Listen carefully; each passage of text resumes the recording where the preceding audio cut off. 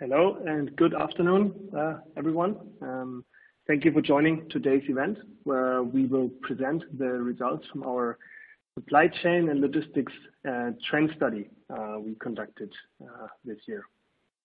My name is Johannes Panzer. I'm Head of Industry Solutions for e-commerce at Descartes, and I'm your speaker and moderator for today.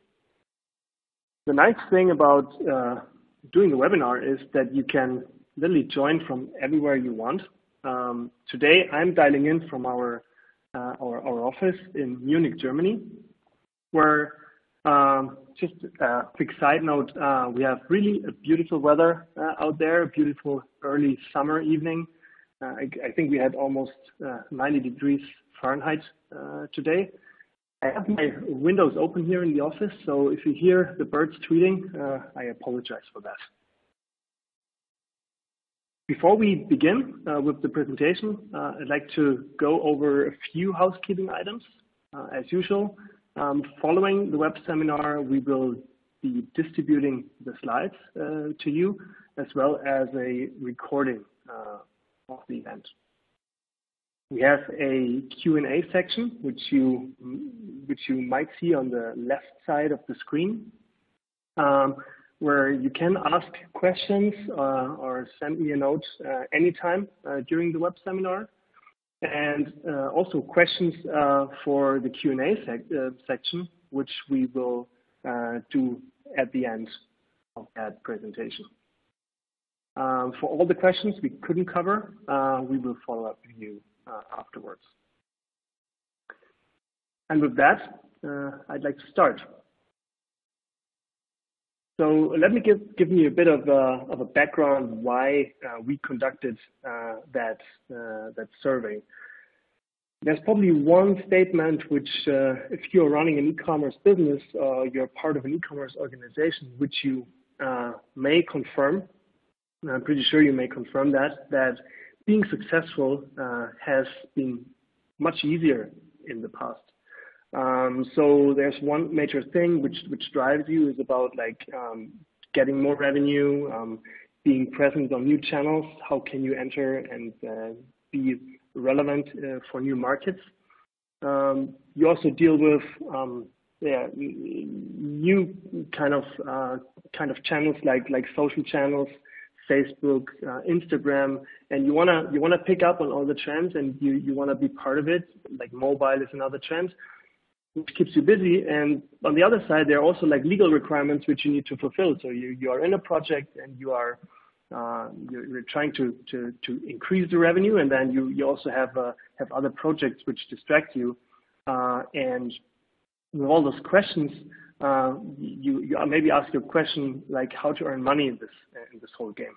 So let me now quickly share with you how the e-commerce market has evolved and with a quite honestly simplified uh, overview. So if you have a look at like the year 2000, um, where like e-commerce really started to become popular. So at that time, people like you and me, we were finally super happy that we could buy products online. Uh, at that time, uh, we didn't have access to products offline in the store in our region before, so that was that was really super. Uh, we call those uh, uh, the type of buyers at that time, like the product buyers, So where products finally became available. A couple of years later, um, products became available anywhere, actually, and the number one differentiator became price. So that's why we call people there in that area like the price buyers. This was also really the high season of all those price search engines. And this is where you could make the difference uh, in like in the 2010s uh, and a couple of years uh, around that. Um, price buyers, they are still there, obviously. Uh, so they're they're still, and you you might know that by yourself, So there are still situations where you want to buy a product the cheapest possible. Um, but what we see more and more, and this is something what we already see now and what we also see for the future, is that service buyers um, are really are really making making the change now.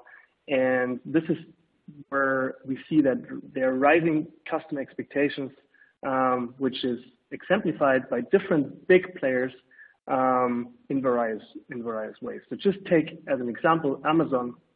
They a couple of weeks ago they introduced that one day shipping in North America, um, and already today um, for some products you already can get this one day shipping. Another thing um, Amazon introduced was that Amazon Day, like that dedicated delivery day for your parcels. So um, it's getting more and more complex, uh, but this is also where um, uh, we see, and that's where, where the logistics and supply chain at a broader sense comes into play, um, where, where e-commerce companies and successful players uh, can make the difference.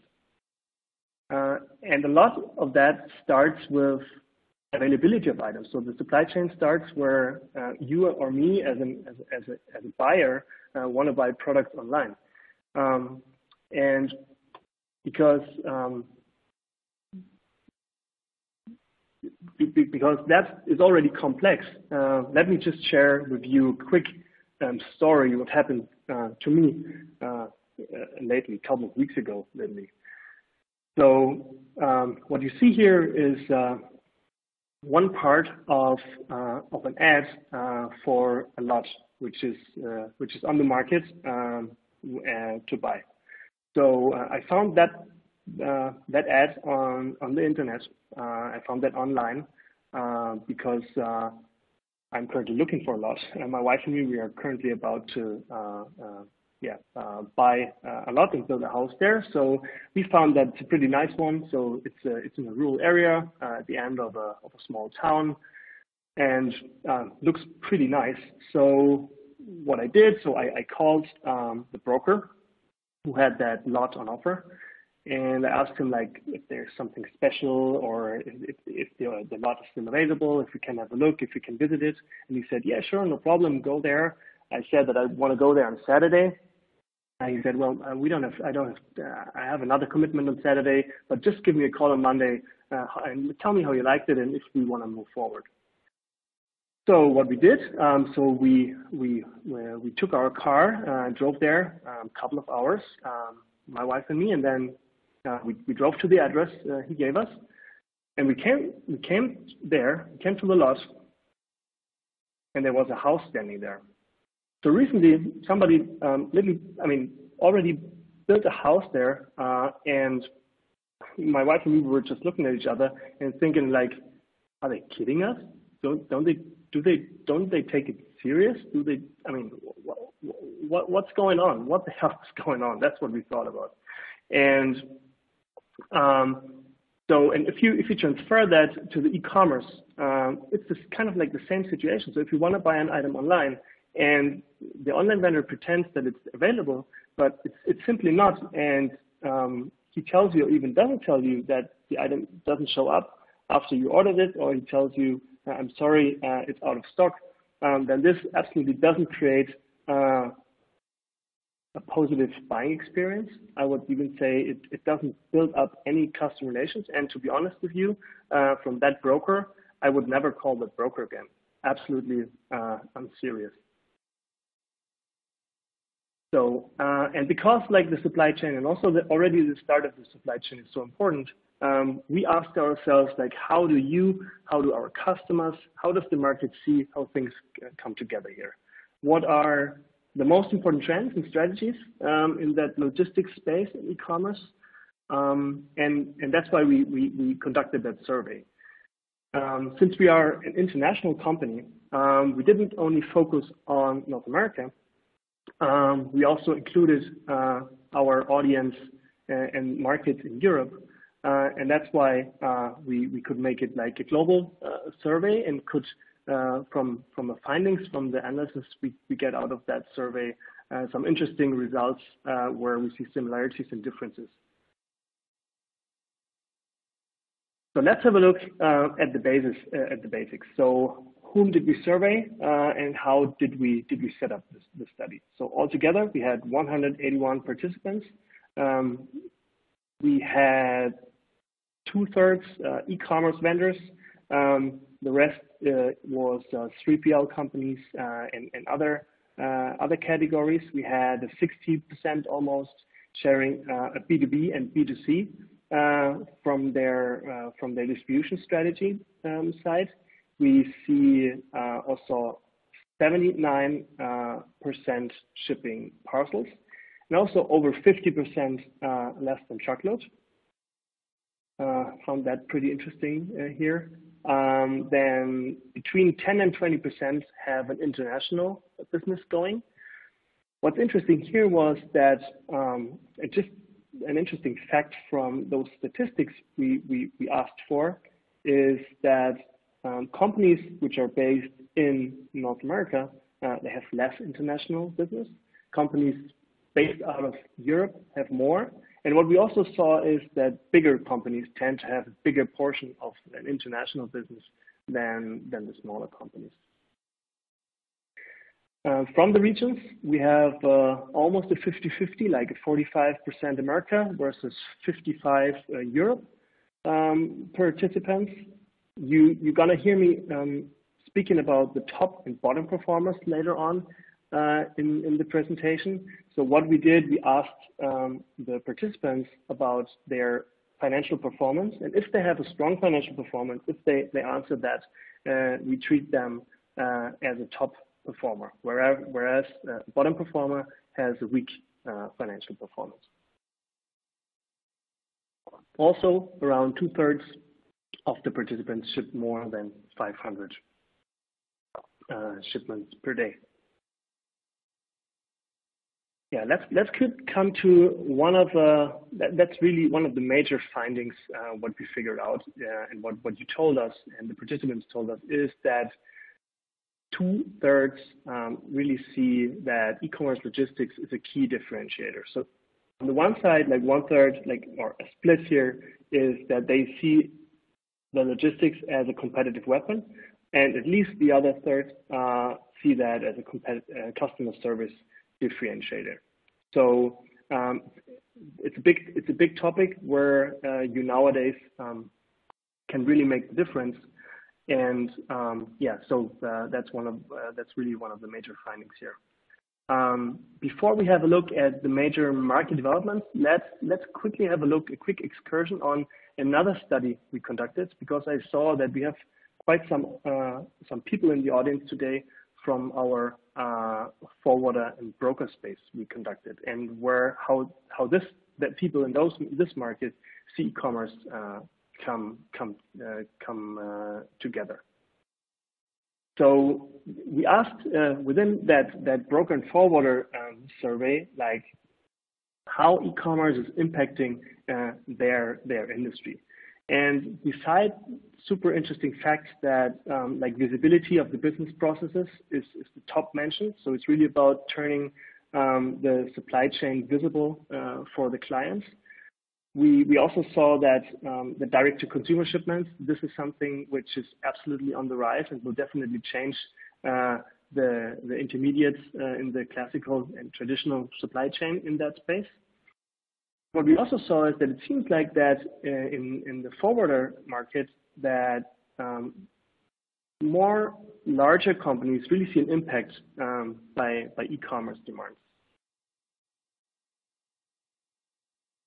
So on the on the other side, uh, and this is like an internal question now. So we asked the companies um, like, how do you how do you capture more of the B2B and B2C e-commerce business in your company? And what's interesting here was that it's kind of like also similar. Like large companies, they tend to invest more in e-commerce technology, uh, whereas like um, smaller companies, um, seems like they really don't have uh, such a strong focus here. And this uh, and, and, this is actually pretty interesting because we this raised the question and a couple of questions. So, if, where does that come from? That that um, that small focus or that no focus uh, portion? Is it like missing knowledge? Uh, is it that e-commerce is seen as just for the big players, just for the big guys, um, or is it simply not on the radar because there's so many other opportunities? Um, I think one conclusion here, uh, and this should conclude the, that excursion now, is that um, so also in that industry, like you don't fall just in, into e-commerce. You need to have a strategy in place, um, a proper strategy in place, but what you see, like what kind of opportunities, especially in the logistics and supply chain space, there are, um, the, the e-commerce trend study uh, really reveals. So now let's get back um, to the to the study results, and let's get back to um, the the question where we asked about the major industry and market developments with which have the, the greatest impact over the next three uh, to five years. So number three, um, mentioned with 27% is shrinking margins. So shrinking margins come from, and, and I mentioned that also before. So costs are rising, uh, the, the, costs are just um, getting up. Also because there are new marketing channels, there are new sales channels, uh, marketplaces which uh, which which which require more uh, more um, more budget. Um, but not only the, the marketing side and the ad, adver advertisement side, it's also about fulfillment and logistics costs. It's also about the warehouse costs. So everything here is on its rise. And uh, this is something where people uh, see that this is one of the top three um, developments, which will also continue uh, in the next years. Number two, with 35%, is technology advances. So this is where, uh, and again, this is when you when when you connect to new channels and when you you want to um, increase uh, transparency, um, you need technology. Uh, it's not just about like the, the, the typical buzzwords or uh, industry uh, topics like AI, machine learning, big data. Um, it's about um, connecting systems um, and to provide transparency. And what's really what, what's also really important here is that um, it's not just that you have that technology, it's also that you ask the right questions, that you have the right business problems you want to address, you want to get accomplished, um, which where technology can help you. But definitely, technology uh, is something which uh, which is which is there and will uh, definitely also be there uh, and, and of more importance in the future. The number one, um, this was mentioned already uh, by by the other two as a side note, marketplace and channel strategies with 40%. So this is really, uh, and if you, uh, quite an easy example when you have a look at how the product search, the first product search uh, changed over the last couple of years, which was in the past always Google, uh, and which which which turned into that the first product search uh, has become uh, the Amazon page, uh, the Amazon portal. Um, this is where where you see that that technology is really important to keep up uh, and to be yeah to be ahead of the game. When you look at these trends, um, the following question uh, pops up. Uh, the question about like how do you, I mean, what do you, what kind of growth are you expecting within the next two to three years? Um, and so before I reveal like the the the, the results here, um, I would like to ask you like just think about like where in which area would you would you put yourself? Would you put your company and your company growth? So from shrinking to limited growth uh, to less than 5, 5, or even greater than 15%. So let's, uh, let's start from, from the right. Um, shrinking, zero. So nobody said it's shrinking. So the, that's, that's one indicator um, that we are in a, in, a, in a growth market here, right? Um, limited or no growth, 7%. Less than 5, also uh, quite similar.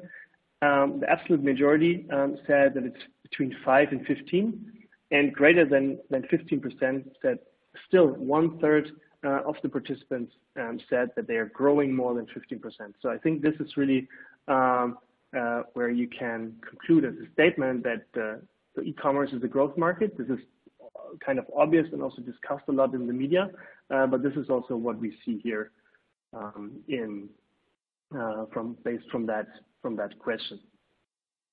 And so when you see all that growth and you see the those those trends which are coming, which may may look a bit like um, make you a bit afraid probably,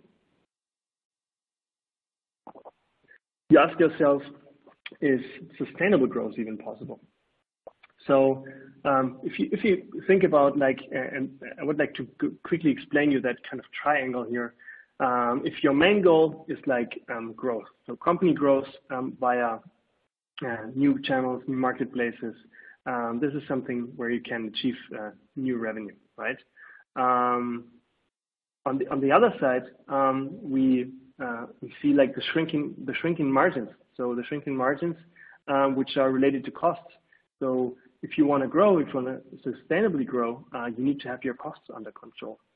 And uh, on the other side, the, the, the, what, I, what I call your experience, this is where through technology advances, uh, which is one of uh, the trends for the next for, for the next uh, for the next years, this is where you you can leverage technology uh, and make the difference and provide uh, a better and greater customer experience.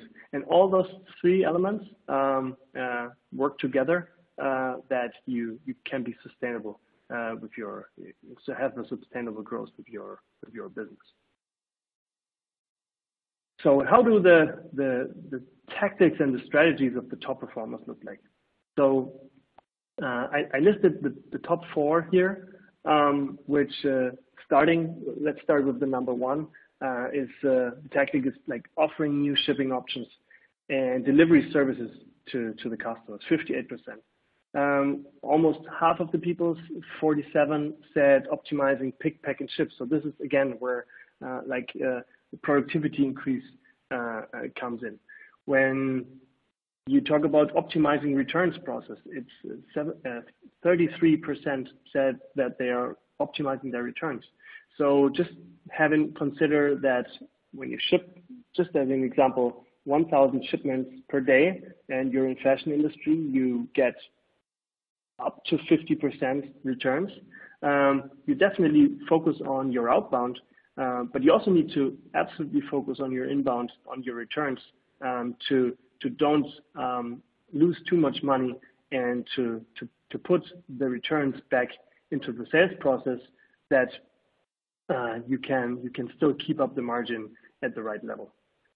And number four is the real-time tracking uh, of packages. So I also mentioned that uh, kind of customer-facing supply chain uh, uh, earlier. It's really about like keeping the customers informed, and this is also something you can yeah, leverage by uh, technology um, and to make the difference to provide a great service for for your customers. So let's let's pick the the first one, uh, the shipping options. Um, there is a debate going on uh, in the market, which is kind of like it's misleading or it's not 100% correct. So uh, there's a lot of focus on shipping and delivering faster and faster and faster. That only faster is just simply not true. In fact, um, nowadays it's possible to ship faster I also mentioned that, stated that before, like uh, big players are exemplifying that. Um, but what consumers really want is that they have the, that they have the choice. So in whichever situation, in whichever buying situation they're in, they want to have the choice and they want to be be able to select that. And if you can provide that as an e-commerce company, uh, then you you can make the difference here. So let me quickly go through uh, like metrics uh, we developed on on those different customer segments. Um, like the first one, which we call the cost, cost, cost, this is where you, you buy products online. You buy them, for example, um, from whatever wish.com or whatever um, uh, e-commerce store or from China or from anywhere because you know that you want to buy it at the cheapest price. No problem for you to wait for 30 days or um, I don't know if even longer, but you def definitely the precision when you expect the items uh, is it doesn't matter so much.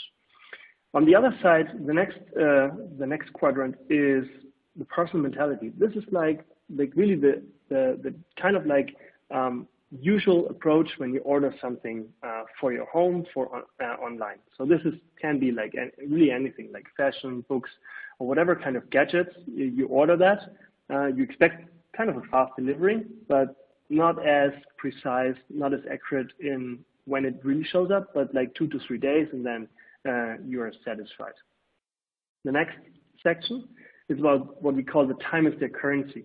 So here it's really like, let's say the new iPhone X, Y, whatever uh, has been launched, uh, and I want to have it tomorrow, then I definitely pay another 20 bucks for uh, an express shipment and for the, I mean, for getting it as fast as possible. Uh, and one of the most, and, and, this is, I mentioned that already before, one of the probably most interesting ones is that convenience matters. And this is what we also see, which, which we see more and more, uh, is that where the precision is really tight and the speed is really depending on the customer's needs.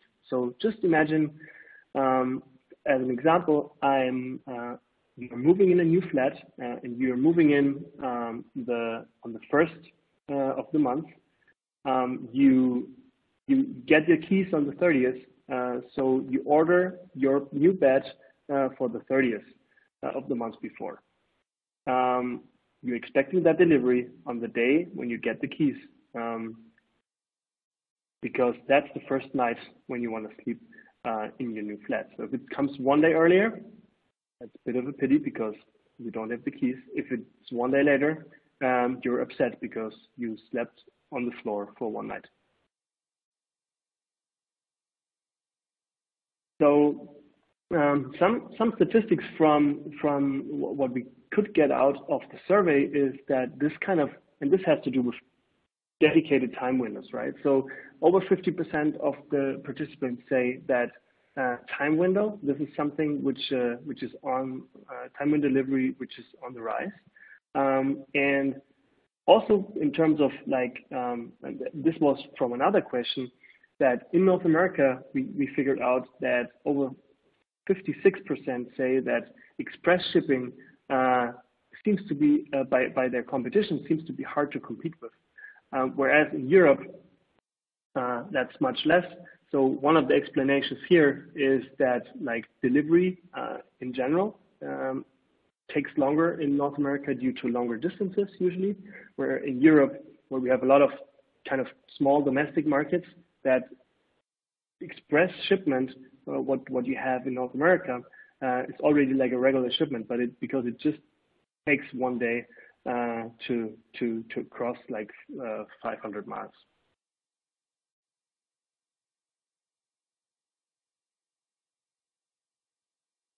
So um, fast shipment, obviously that's that's important and uh, that's what what what we are what customers are expecting.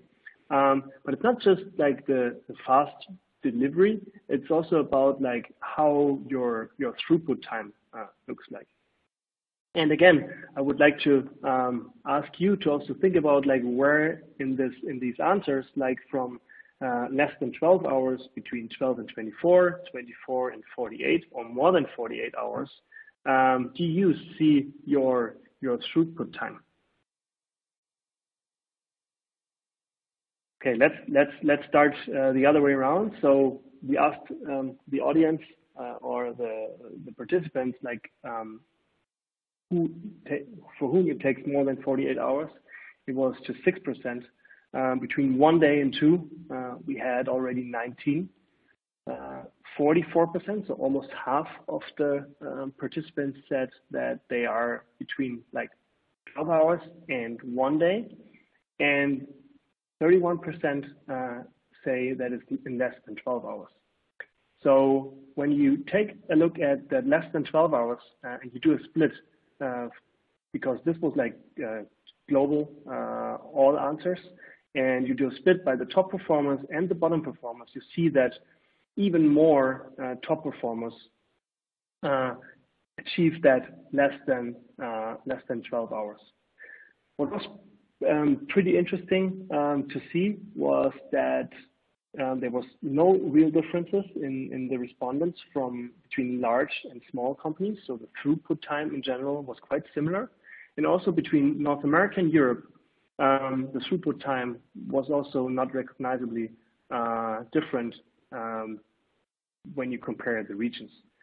Um, there's one uh, note we, we, we, we already took as an action item for next year. Um, so since we have like a lot of people, uh, a lot of top performers in that, uh, in that less than 12 hours section, Um, and I lately wrote an article about like the average uh, throughput time of Amazon, which is seems to be four hours.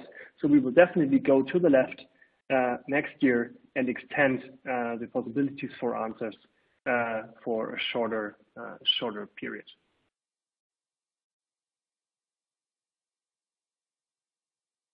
So fast throughput time is nice, but is that also economic uh, or is it just eating profit? So I, I brought one example uh, of one of our clients based out of um, Berlin, um, Germany, uh, called maskworld.com. They are selling masks and disguise. And they have implemented um, our uh, technology and using multi-order picking strategies um, uh, and they're using a warehouse um, put away principle, uh, which also Amazon uses, by the way, um, which is called chaotic storage. Uh, chaotic storage simply means that you can put items anywhere uh, in the warehouse. Um, you just need to assign uh, the items which have a barcode to a bin, uh, which is at a bin place in the warehouse, and the system then knows where your items are. So this has several advantages. So one advantage is, is definitely that you save um, a lot of warehouse space, uh, and you also reduce uh, errors during the pick process because uh, you, if you by intention not put the same items or similar items in one bin, um, you can't make a mistake. For example, uh, when you pick like two T-shirts uh, in, uh, you pick one T-shirt and there are two ins in there with the same color but different sizes uh, there's just one t-shirt in there, you definitely pick the right one. And the good thing, and this is what I was wanted to refer to, is that so with, with that with using our technology, they are um, saving up to six hundred thousand um, dollars uh, per year uh, through a tremendous increase uh, of their uh, productivity. So pick, package, ship, we saw it. It's, it's a big topic. Another big topic um, here is uh, is the the last mile uh, delivery. And I would like to ask you um, before I, I, I, I, move on, like um, I would be super interested in like whom of you is like involved in, in home delivery, who is thinking about like um, delivering um, orders um, with our own fleet, with a dedicated fleet. Um, just drop me a quick note in, in the Q&A. Uh, would be super interested uh, in getting your in, in getting your input here. Um, so there's one statement I have here. Um, owning the last mile uh, can be worth it. So if you have a look at that diagram and you have a look at the current market situation, and you probably uh, can also confirm that uh, that you recognize that shipping costs are getting more, getting higher every year.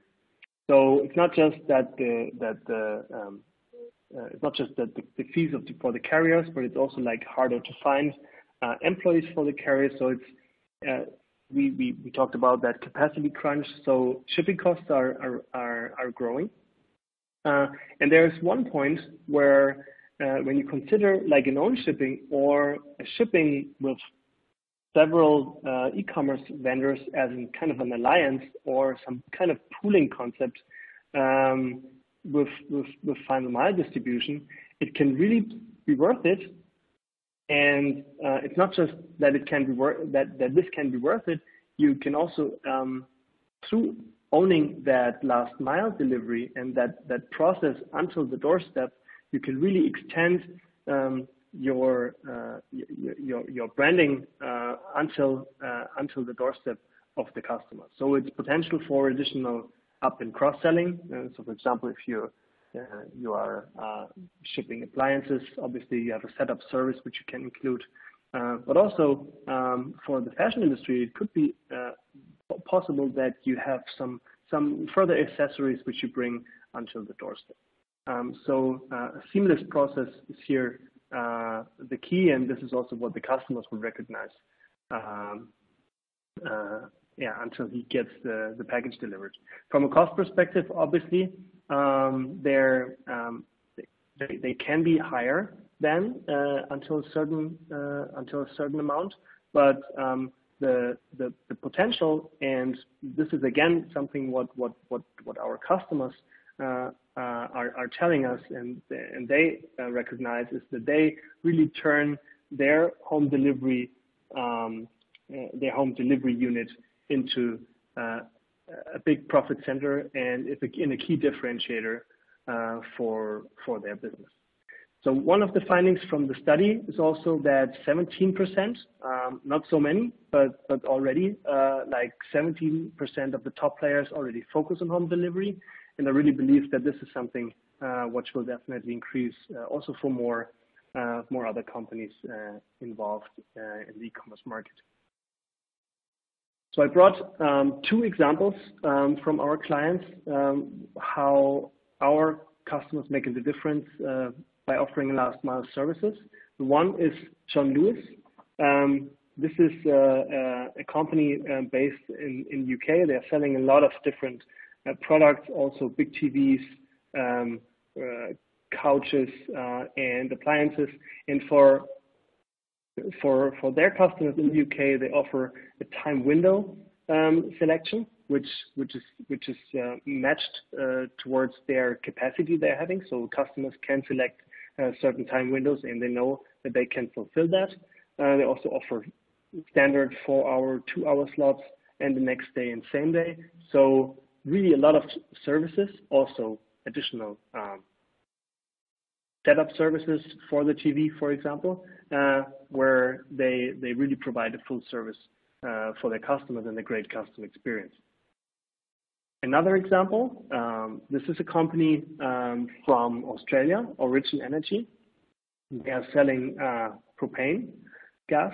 Um, they uh, implemented, uh, and they are they're having their own fleets, uh, and they implemented like real track, real-time tracking solutions, where they uh, offer um, until the last mile, really the customer the full transparency. I mentioned that customer-facing supply chain before a couple of times.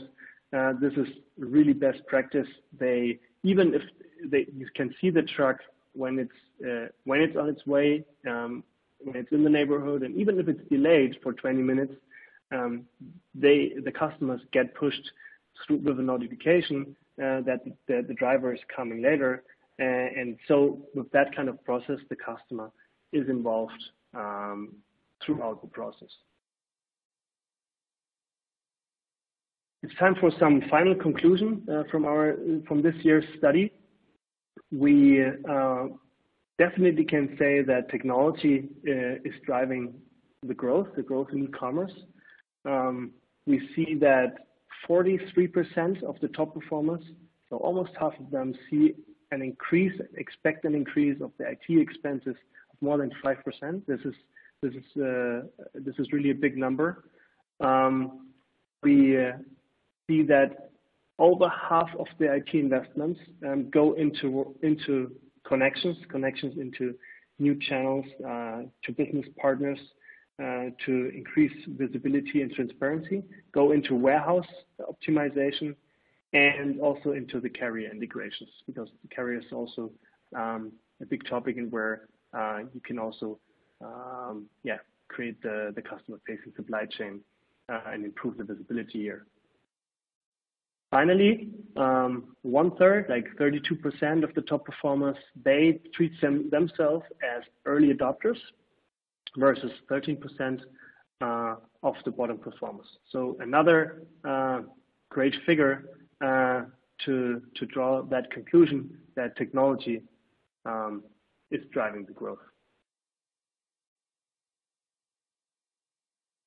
So there are um, absolutely more results, um, and if you would like to get a copy, um, please send us a quick note either through the, the Q&A, um, send us an email um, to info at descartes.com. Uh, we are more than willing to, to, to send a copy over. Um, yeah, so, and we have uh, already a new study uh, planned. So the next study will be uh, launched, will, will be launched in fall 2019.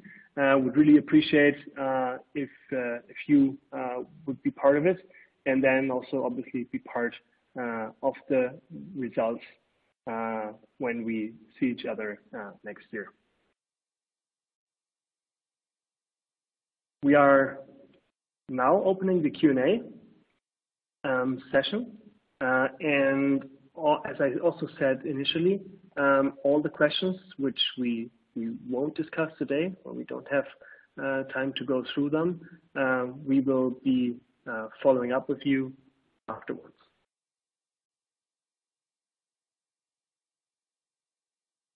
So I give you some moments to type in your questions if you if you haven't already. Um, otherwise, I will um, pick them as they as they are coming in. Okay, I have one question here already, um, or the first one, a couple more. Um, I'm reading the question now. Comparing North America and Europe, uh, did you learn anything on how companies are acting differently when they are improving their supply chain processes? I think what what I was expecting at least uh, was when when when I talked about the throughput times. So here, this was pretty interesting that we see really a lot of similarities, um, where I was expecting uh, some some differences, um, obviously. Uh, but like well, if you talk about differences, um, so we definitely see that like um, topics like real-time tracking of packages is a bigger topic in North America, with with 23%. Um, this, um, yeah, so uh, I think I also mentioned that before. So uh, the distances, the delivery um, times are longer in North America, and I think that's why it's even more critical and more important that the tracking of packages is tracking of packages Uh, uh, improves and that real-time capabilities are there. Uh, on the other side, what we also see that in Europe as as a difference is that um, European players see a bigger focus on warehouse automation. Um, this is also pretty interesting because um, it seems like like warehouse space is probably a bit more critical in Europe, where warehouse space is less critical North America. So there are some differences, um, some interesting ones. So um, obviously there are also some more. Um, just uh, give us send us a quick note and we will send you the study to that you can also explore more uh, differences. But that, those would I would say are the most important ones. Okay, the next question I have here. Uh, are there regional differences where companies Uh, see concerns by the competition? Um, yeah. So uh, what we saw uh, in the survey is that um, over half of the respondents in North America, they see that free express shipping as a greater concern. Um, I explained that also a couple of minutes ago, that this is something which, because delivery simply, it's kind of similar as the topic I mentioned before. Um, what also was pretty interesting is that over uh, half of the respondents said that um, that they are concerned about the time window offerings uh, their competition uh, is offering. So um, uh, yeah. So this is it seems like this is one of their their their greatest concerns.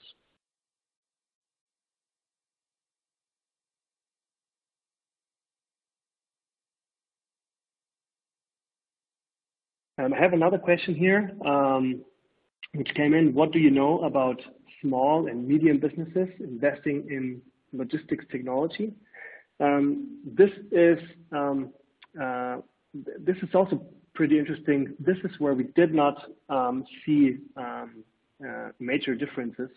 Uh, so we see that it's really depending on on the top performers who really plan to invest more. And yeah, so uh, not really a big difference. Um, but as I said, so the top performing companies here where investments in logistics technology really make the difference, they are definitely spending more uh, in yeah in, in, in that space.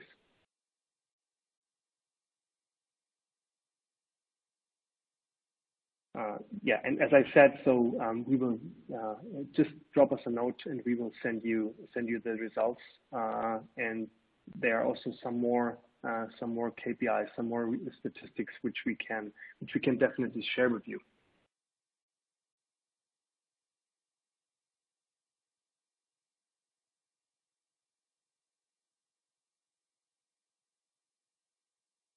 Okay. Um, I think if there are no further questions, um, then um, yeah, I will. Uh, yeah, we will uh, close the session. Uh, thank you again for for joining, uh, and I'm looking forward uh, and uh, would really appreciate you being part of our study next year. Have a nice rest of the day and goodbye.